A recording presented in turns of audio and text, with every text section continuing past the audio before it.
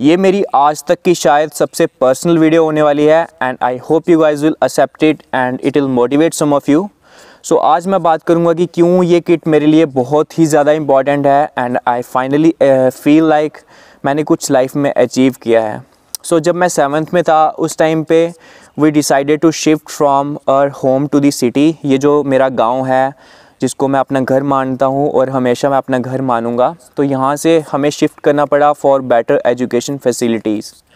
तो जब भी मैं गाँव से सिटी जा रहा होता था या फिर सिटी से वापस गाँव आ रहा होता था तो रास्ते में एक क्रिकेट एकेडमी आती थी और हमेशा मैं कोशिश करता था कि जब मैं सिटी से वापस गाँव आ रहा हूँ तो हम बस से ही आते थे। तो मैं कोशिश करता था कि मैं बस के लेफ़्ट साइड पर बैठूं और वहाँ पर मैं दो तीन सेकंड के लिए ही मुझे बस में दिखते थे, लेकिन बच्चे ट्रेन करते हुए, बच्चे क्रिकेट खेलते हुए मैं हमेशा देखता था। और जब गाँव से सिटी वापस जा रहा होता था तो कोशिश करता था कि बस के राइट साइड पर बैठूं और बच्चों को ट्रेन करते हुए हमेशा देखता था। तो ऐसे ही कुछ टाइम तक चला और मेरा बहुत ही ज़्यादा मन करता था कि मैं भी आ, क्रिकेट उन बच्चों की तरह आ, मैं भी पैड पहनूं मैं भी खेलूं क्रिकेट तो बहुत ही ज़्यादा हिम्मत करके फाइनली मैंने अपने पापा को बोला कि आ, हमें वहाँ पर जाना है और पता करना है कि अगर मुझे ज्वाइन करना है तो मैं कैसे कर सकता हूँ क्या फ़ीस है सब कुछ।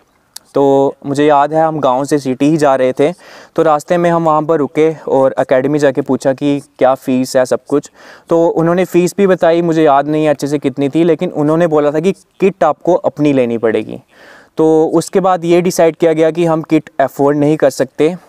टू बी वेरी ऑनेस्ट मैं ये कहूँ मैं यही कहूँगा कि अगर मैं फ़ोर्स करता मैं ज़िद करता कि नहीं मुझे एकेडमी ज्वाइन करनी है तो मुझे एकेडमी ज्वाइन करवा दी जाती। लेकिन क्योंकि मैं सेवन्थ में था और और मुझे इस चीज़ का पता नहीं था कि मैं क्या चीज़ मिस करने वाला हूँ तो मैंने भी ज़िद नहीं की और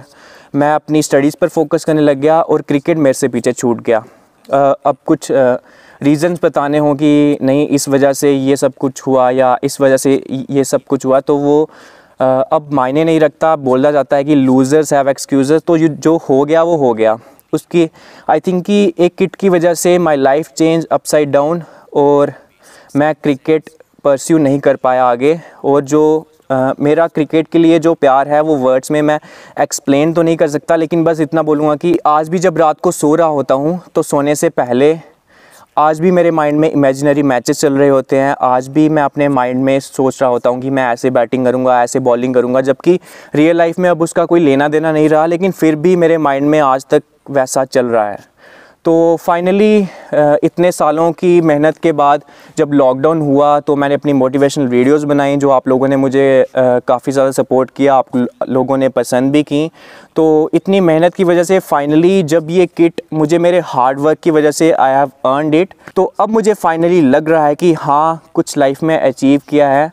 और अपने हार्ड वर्क से कोई चीज़ अर्न की है। तो अब मेरा बस यही सोचना है कि बेशक मैं अपना ड्रीम तो पूरा नहीं कर पाया, लेकिन इस किट के थ्रू और जितना मेरे से हेल्प हो सके एटलीस्ट मैं यंग किड्स की तो हेल्प कर सकता हूँ। उनको तो गाइड कर सकता हूँ, जितना मेरे से हो सकता है। तो ये किट मेरे लिए बहुत ही ज़्यादा इंपॉर्टेंट है। वर्ड्स में एक्सप्लेन नहीं कर सकता, लेकिन बस इतना बोलूँगा कि आई एम फाइनली हैप्पी और finally just wanna say big thank you to Kamal traders और अर्जुन भैया। और जैसे मैंने आपको पिछली वीडियो में भी बताया था कि आप वहाँ से आपकी स्पोर्ट की नीड के जो भी इक्विपमेंट्स हैं, आप वहाँ से ओरिजिनल और अफोर्डेबल प्राइसेस पर ले सकते हैं।